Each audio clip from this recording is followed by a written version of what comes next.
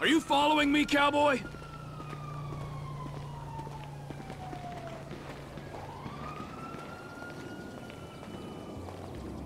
I said stop following me, cowboy.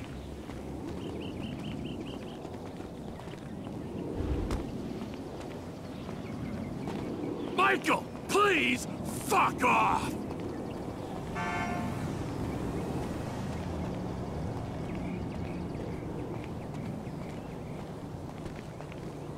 Really are an annoying prick!